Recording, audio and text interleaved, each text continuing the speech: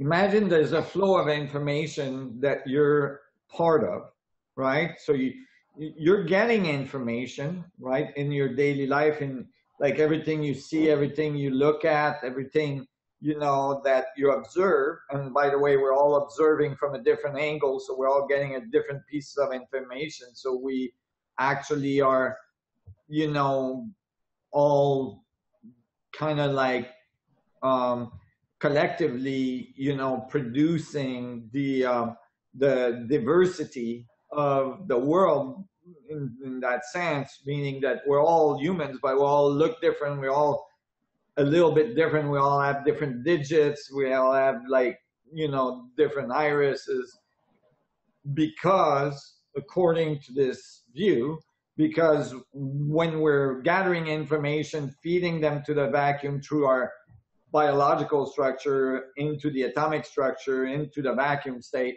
we are actually giving different sets of information, different interpretation of the same thing. So we're so then the feedback makes us a little bit different from each other